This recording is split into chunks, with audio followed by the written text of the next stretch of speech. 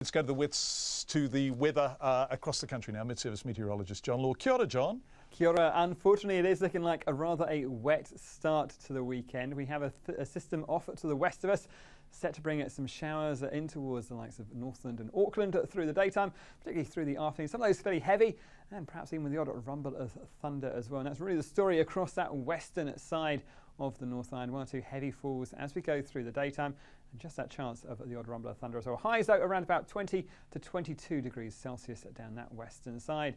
Even down in towards Wellington, that cloud thickening up through daytime, some showers of airpin. Again, some of those could be fairly heavy as we go through towards the afternoon.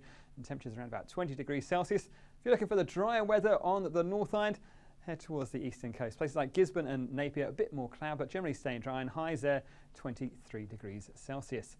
As we head down towards the south island, we have got some wetter weather in uh, Canterbury to start a day. That rain should ease off through the morning time. Still some showers though around for the afternoon, one or two of those again on the old heavy side, but more showers as we go through in towards the afternoon for parts of Southland and Otago, and some wetter weather still with us for that western coast. But it is an improving story for Nelson and Buller. Some brighter weather through the afternoon, but do keep an eye on those severe weather watches and warnings. And that's it from me.